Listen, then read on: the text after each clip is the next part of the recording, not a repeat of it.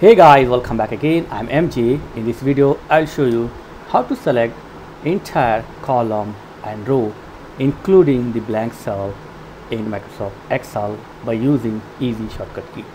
So here I have a column and row. For example, if you want to select the entire column, just press control space and boom, that's it.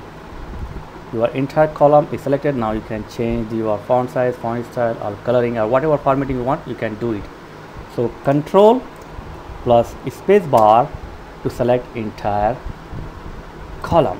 Uh, to select the entire row just press shift space bar and that's it. You can see entire row is selected including the blank cell.